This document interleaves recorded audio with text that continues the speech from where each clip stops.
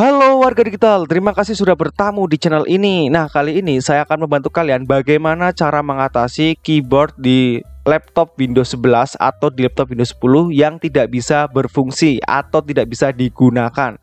Nah, terus solusinya gimana Kak? Langsung saja ke caranya.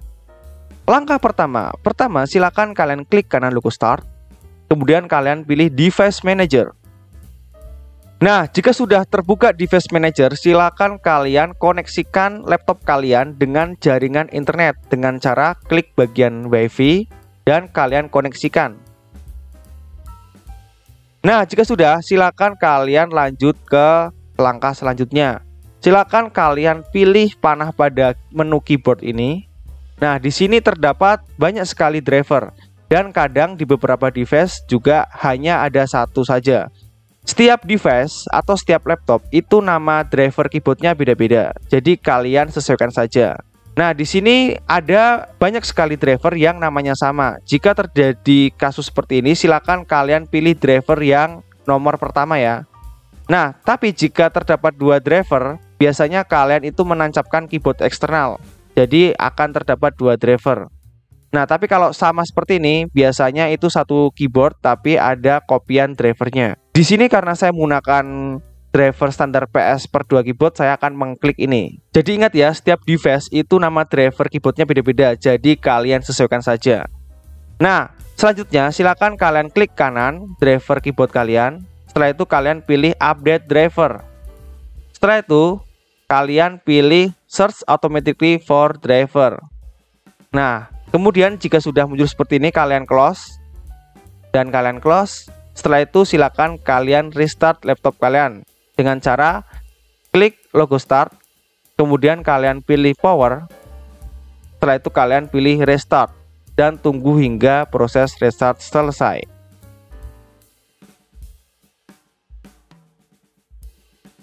Nah, jika sudah selesai, silakan kalian cek apakah keyboard kalian sudah bisa digunakan atau belum. Nah, jika sudah bisa digunakan, kalian tidak usah lanjut ke langkah berikutnya. Tapi jika masih belum bisa digunakan, kalian silakan lanjut ke langkah berikutnya. Langkah berikutnya, silakan kalian klik kanan logo start, kemudian kalian pilih device manager. Nah, di device manager ini silakan kalian pilih panah pada menu keyboard. Nah, di sini terdapat beberapa driver nih. Ingat, setiap laptop atau device itu nama drivernya beda-beda. Jadi kalian sesuaikan saja. Nah, di sini karena saya menggunakan standar PS per 2 keyboard, saya akan gunakan yang ini. Silakan kalian klik kanan driver di laptop kalian, driver keyboard di laptop kalian. Kemudian kalian pilih update driver. Setelah itu, silakan kalian pilih browse my computer for driver. Nah, kemudian kalian pilih let me pick from a list. Setelah itu kalian pilih standar PS per 2 keyboard atau sesuai dengan driver di laptop kalian. Kemudian kalian pilih next dan tunggu hingga proses instalasi selesai.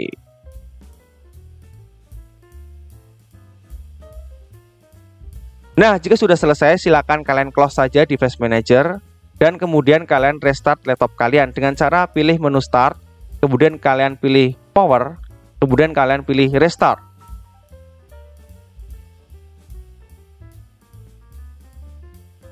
Nah, jika sudah selesai, silakan kalian cek apakah keyboard kalian sudah berfungsi atau masih belum atau masih sama aja. Nah, Kak, keyboard saya tuh sebenarnya sudah berfungsi, tapi beberapa tombol keyboard tuh ada yang tidak berfungsi. Gimana Kak caranya? Nah, kalian bisa lakukan cara selanjutnya. Nah, cara selanjutnya silakan kalian buka Google Chrome atau browser lainnya terserah kalian. Kalian buka, kemudian kalian search yang namanya KeyTweak Download. Nah, seperti ini ya. Jika sudah, silakan kalian pilih ini yang download KeyTweak terbaru 2023 free download. Kalian klik saja. Setelah itu, silakan kalian scroll ke bawah dan kalian pilih download now. Jika muncul seperti ini, silakan kalian tunggu saja hingga proses selesai nih. Nah, jika sudah, maka akan seperti ini. Kemudian kalian klik. Dan jika ada perizinan, kalian pilih yes. Nah, jika muncul seperti ini, kalian pilih I agree. Dan pilih install. Nah, jika sudah komplit, kalian close saja. Dan kalian close Google Chrome kalian. Nah, kemudian silakan kalian pilih menu start, kemudian kalian pilih all apps. Nah, di sini kalian cari yang namanya key tweak. Nah, di sini ada tweak, kita klik dan kita pilih yang ada ikon keyboardnya ini. Kita klik. Jika muncul perizinan, kita pilih yes. Nah, di sini sudah muncul aplikasi key tweak-nya ya. Nah, jika sudah, kalian cek tombol keyboard mana yang tidak berfungsi. Misalkan adalah tombol huruf A. Nah, huruf A itu ada di angka 31. Kita klik huruf A, misalkan ya, huruf A. Nah, jika sudah dipilih tombol A di angka 31, silakan kalian ubah fungsinya menjadi tombol yang berbeda. Misalkan di sini tombol shift sebelah kanan di laptop saya itu jarang digunakan. Jadi daripada saya membeli keyboard baru, mendingan saya gunakan tombol shift ini sebagai huruf A. Nah, silakan kalian pilih choose new remapping, kemudian kalian cari yang namanya right shift. Ini right shift, kemudian kalian pilih remap key. Nah, jika sudah, silakan kalian pilih apply.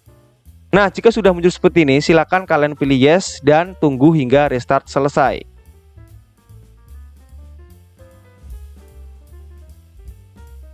Nah, jika sudah selesai, silakan kita cek apakah tombol A kita sudah berfungsi atau masih belum berfungsi.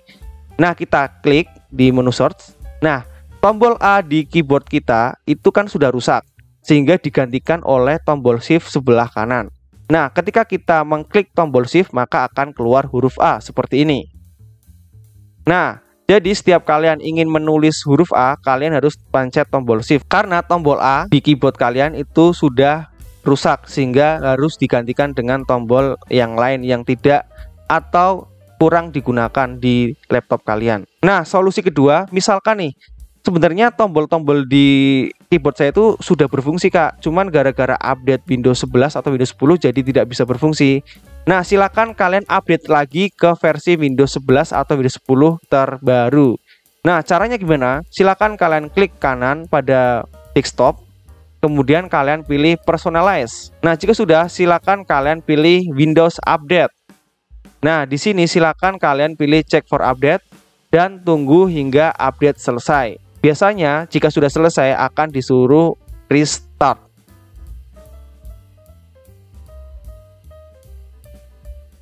Nah, jika sudah selesai di restart, ternyata beberapa tombol di keyboard kalian itu masih tidak berfungsi. Misalkan tidak hanya huruf A, tetapi banyak ada huruf R, Y, angka 7, atau O, dan itu sangat banyak kan daripada kalian itu mengganti fungsinya dan fungsinya itu kurang maksimal dan membingungkan.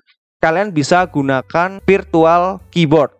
Nah, jika bicara masalah hardware, kerusakan hardware, itu juga ada sangkut pautnya sama budget. Kalau budget kalian minimum, kalian bisa gunakan virtual keyboard atau kalian bisa membeli keyboard eksternal di Shopee yang harganya murah. Tapi kalau semisal kalian itu budgetnya banyak, kalian mendingan ke service center dan serviskan keyboard kalian. Nah, misal teknisinya itu mengatakan bahwa keyboard kalian itu sudah tidak bisa diservis dan harus diganti. Nah, jika seperti itu silakan kalian ganti keyboard kalian dengan keyboard yang terbaru, yang baru ya. Yang sama dengan keyboard sebelumnya. Jadi keyboard internal kalian itu diganti. Akan tetapi, jika budget kalian minim, kalian bisa gunakan virtual keyboard atau keyboard eksternal jika tidak ingin ribet. Nah, untuk membuka keyboard virtual, gimana caranya Kak? Silakan kalian klik kanan pada taskbar, kemudian kalian pilih taskbar setting. Nah, di taskbar setting ini silakan kalian aktifkan virtual keyboard. Nah, ini touch keyboardnya kalian aktifkan selalu ya. Nah, setelah itu kalian close dan kalian pilih di sini. Di sini ada ikon touch keyboard kalian klik. Nah, di sini ada keyboardnya. Kak, kalau semisal saya menggunakan keyboard eksternal apakah bisa? Sangat bisa. Dan keyboard eksternal itu harganya biasanya ada yang paling murah dan ada yang paling mahal. Tinggal sesuaikan dengan budget kalian. Kalian bisa membeli di Tokopedia atau di Shopee. Nah, tapi jika kalian ingin membetulkan keyboard kalian, silakan kalian datang ke service center terdekat ya. Misalkan laptop kalian itu Lenovo, silakan kalian datang ke service center Lenovo.